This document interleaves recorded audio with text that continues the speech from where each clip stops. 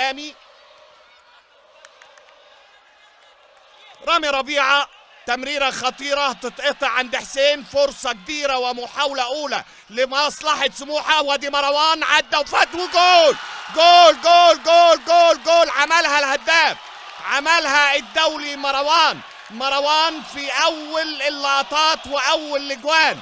تمريرة خاطئة على طول حسين لمروان دي ما ترجعش والذي نجح في اقتناص السوبر واقتناص الهدف الأول. لكن يا ولد يا ولد يا ولد يا عيني على المهارة ويا عيني على لغة الهداف والكنترول الحلو والدوران والتسديد وافتتاح التسجيل.